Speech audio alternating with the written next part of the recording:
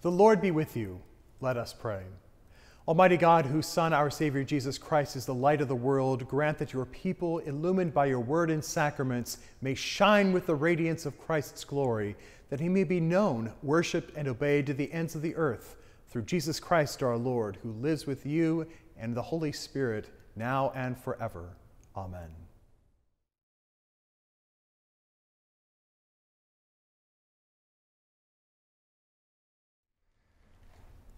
A reading from the book of Isaiah. Listen to me, O coastlands. Pay attention, you peoples from far away. The Lord called me before I was born. While I was in my mother's womb, He named me. He made my mouth like a sharp sword. In the shadow of His hand, He hid me. He made me a polished arrow. In His quiver, He hid me away. And He said to me, You are my servant, Israel, in whom I will be glorified. But I said, I have labored in vain. I have spent my strength for nothing and vanity. Yet surely my cause is with the Lord, and my reward is with my God. And now the Lord says, Who formed me in the womb to be his servant, to bring Jacob back to him, and that Israel might be gathered to him? For I am honored in the sight of the Lord, and my God has become my strength. He says, it is too light a thing that you should be my servant to raise up the tribes of Jacob and to restore the survivors of Israel. I will give you as light to the nations, that my salvation may reach to the end of the earth. Thus says the Lord, the Redeemer of Israel and his Holy One, to one deeply despised, abhorred by the nations, the slave of rulers. Kings shall see and stand up, princes and they shall prostrate themselves because of the Lord, who is faithful, the Holy One of Israel, who has chosen you. The word of the Lord. Thanks be to God.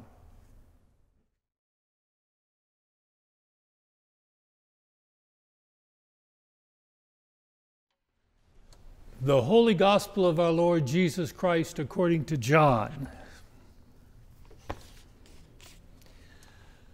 John saw Jesus coming toward him and declared, Here is the Lamb of God who takes away the sin of the world. This is he of whom I said, After me comes a man who ranks ahead of me because he was before me. I myself did not know him, but I came baptizing with water for this reason, that he might be revealed to Israel. And John testified, I saw the Spirit descending from heaven like a dove and it remained on him. I myself did not know him, but the one who sent me to baptize with water said to me, He on whom you see the Spirit descend and remain is the one who baptizes with the Holy Spirit. And I myself have seen and have testified that this is the Son of God. The next day, John again was standing with two of his disciples, and as he watched Jesus walk by, he exclaimed, Look, here is the Lamb of God. The two disciples heard him say this, and they followed Jesus. When Jesus turned and saw them following, he said to them, What are you looking for? And they said to him, Rabbi, which is translated means teacher, where are you staying? He said to them, Come and see. They came and saw where he was staying, and they remained with him that day. It was about four o'clock in the afternoon.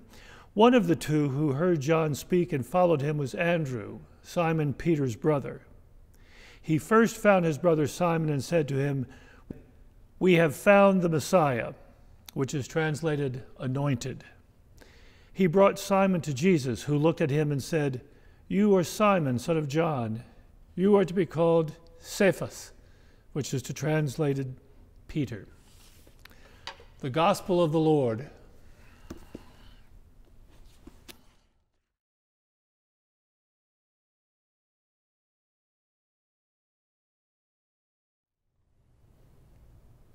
In the name of God, who wonderfully creates and yet more wonderfully restores the dignity of humanity by the incarnation of God's very self in Jesus Christ. Amen. This is one of my favorite gospel stories. Actually, we'll hear this from a different perspective next week with Matthew's telling. But for now, John allows us to catch a glimpse of the first two disciples and my patron saint as a priest, Andrew. There's something about the presence of Jesus right from the very beginning that is so captivating, so penetrating, so engaging, so compelling. John the Baptizer talks about it, and seemingly these two disciples of John somehow now recognize it as the movement of the Holy Spirit. But how do we? How do we recognize the movement of the Spirit? I believe it's to accept the invitation we hear that is offered the invitation to come and see, come and behold the good news we hear. But what does this mean? Is it really this simple? I think the answer is even closer than we think. We need only remember a basic tenet from our childhood about crossing the street. What was that? Stop, look, go.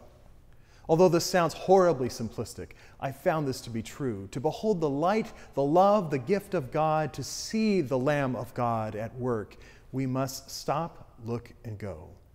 Stop. All too often we're rushing, reacting, seemingly restless, and searching for the next best thing, as if what we behold is not enough. When Jesus noticed the two disciples of John were suddenly following him, Jesus asked them the direct question what are you looking for? It was to stop. That question is still being asked, even in its simplicity. It penetrates us directly. We are in such pursuit of to often find more complicated answers. And here Jesus speaks to us directly. To stop is to breathe, get quiet around ourselves, and ask, What are we looking for? It's to listen for God's still small voice. And when we stop, we're ready to look. Jesus invites us to a new and fuller life and change our whole world with the direct invitation come and see. Are we ready to look? We, we may think this is too simple, but I confess this is how I've also experienced this incredible invitation of Jesus. There have been people who have simply asked me to come and see, come and experience God, but not just alone, but with them in community. And when I look back at my own faith journey, it started as so many of us as a young child and then kept being nurtured, reminded, affirmed, and even challenged. Come and see, grow.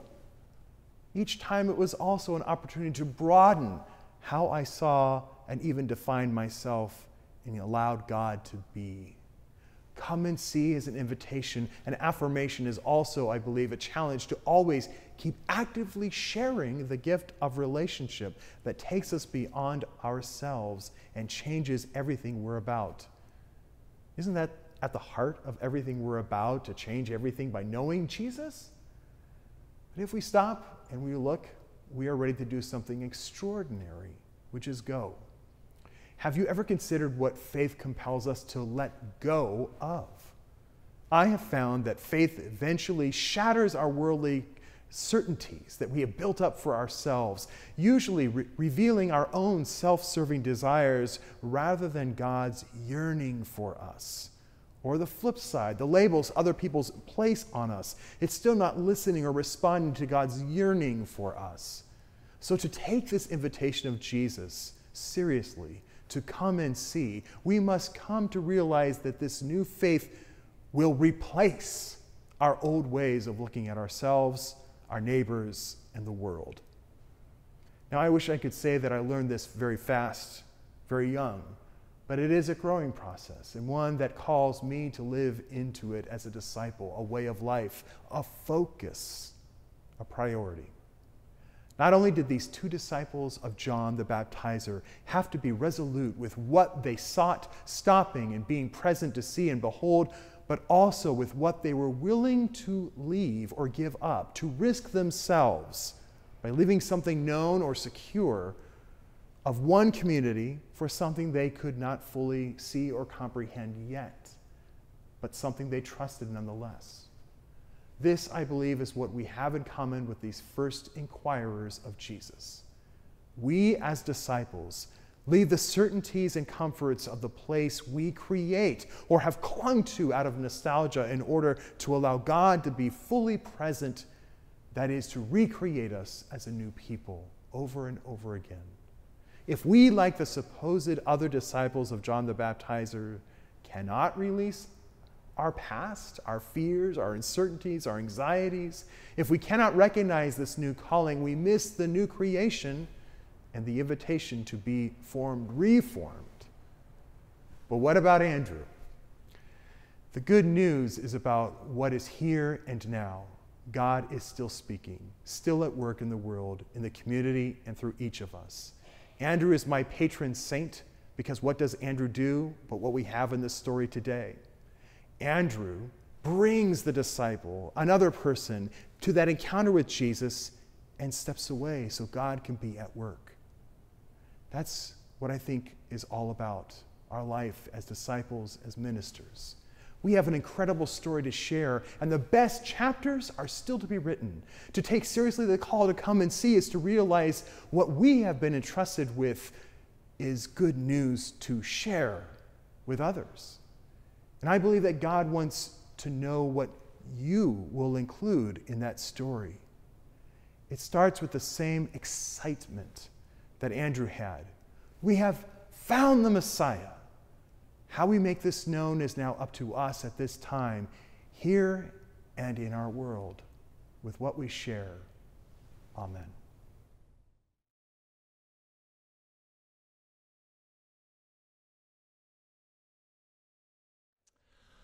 Prayers of the People, Form 3, are found on page 387 of the Book of Common Prayer. Father, we pray for your holy Catholic Church, that we all may be one. Grant that every member of the church may truly and humbly serve you, that your name may be glorified by all people. We pray for all bishops, priests, and deacons, that they may be faithful ministers of your word and sacraments.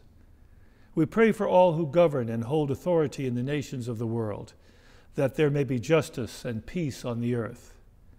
Give us grace to do your will in all that we undertake, that our works may find favor in your sight.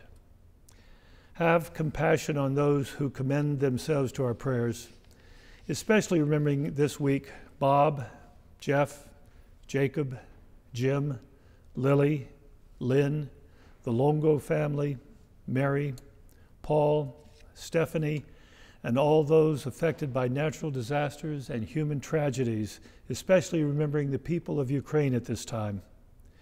We pray for the first responders and the aid and relief efforts that continue there and around the world, and especially for everyone affected by the coronavirus, and all others who suffer from any grief or trouble, that they may be delivered from their distress.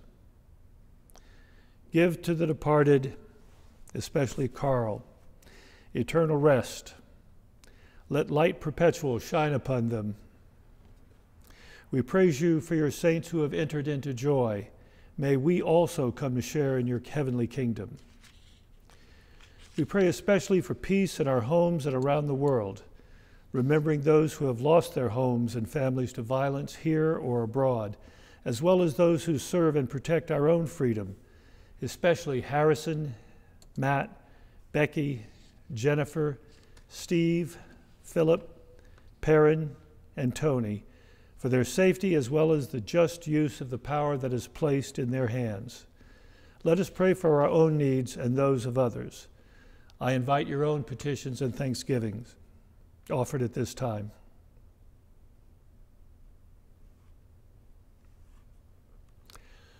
Let us remember and pray for our pastoral care team and Stephen ministry.